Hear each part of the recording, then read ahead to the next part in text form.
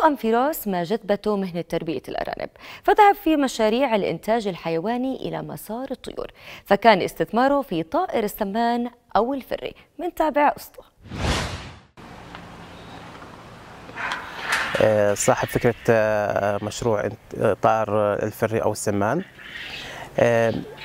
جاتني الفكرة بداية إنه كنا إحنا بنعاني من حساسية في فترة الربيع فالمضاد الحساسية هو الهستامين هستامين فقلنا ليش ما نشوف شو مصادر طبيعية للهستامين؟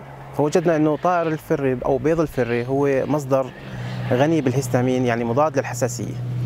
فقلنا okay يلا خلينا نبلش نعمل تربية لطائر السمان. بالفعل جبنا أول شيء اشترينا بداية المشروع اشترينا فقاس اشترينا بيض مخصب وعملنا أول إنتاج لطائر الفري.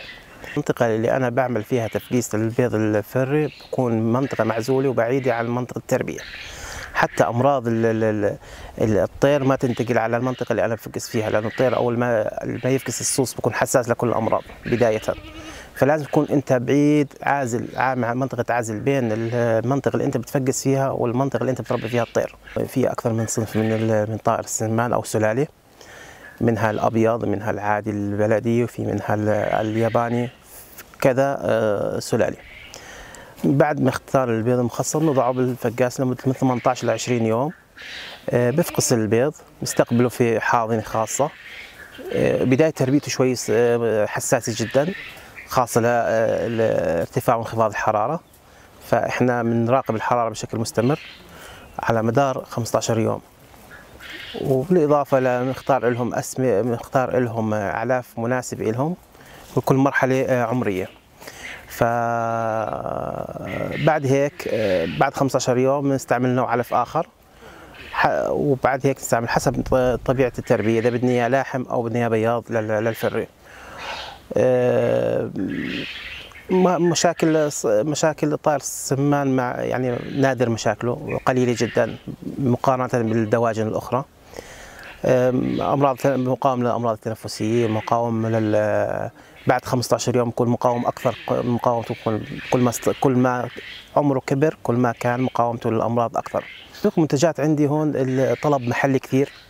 يعني حول المولات اللي حوالينا الجيران الأصدقاء يعني باخذوا كامل الإنتاج. بالإضافة إذا كان عندي فاضي في الإنتاج يعني في مولات في المنطقة يعني في معان في مريز المحافظة برضه كمان في طلب كبير عالي عليه.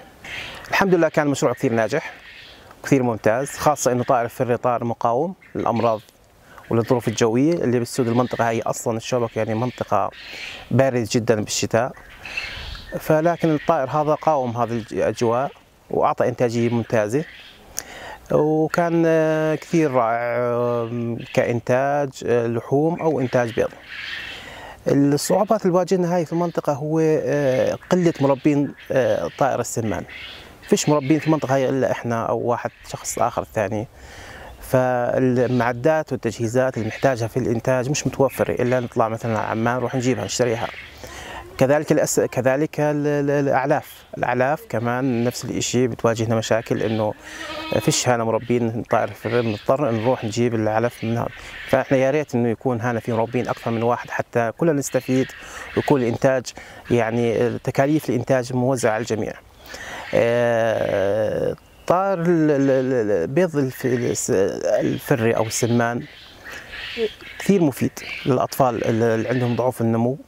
للأطفال اللي عندهم مشكلة في الحساسية أو بطء في نمو العضلات أو نقص عنده فقر في الدم هذا كثير مناسب لأنه في كمية عالية من الحديد في بوتاسيوم عالي في كالسيوم عالي فقيمته الغذائية عالية جدا.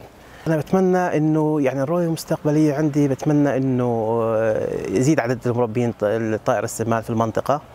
وإنه يكبر المشروع إنه حاب إنه يكون مشروع على مستوى منطقه الجنوب كاملة خاصة إنه هذا المشروع مش متوفر عندنا في الجنوب متوفر في المناطق الشمالية والوسطى اما الجنوب عندنا مش متوفر. فيش في عندنا نقص في لحوم السمان في نقص في, في إنتاج البيض السمان. وفي طلب عالي عليه. فأتمنى إنه يعني المشروع إنه يكبر أكثر من هيك.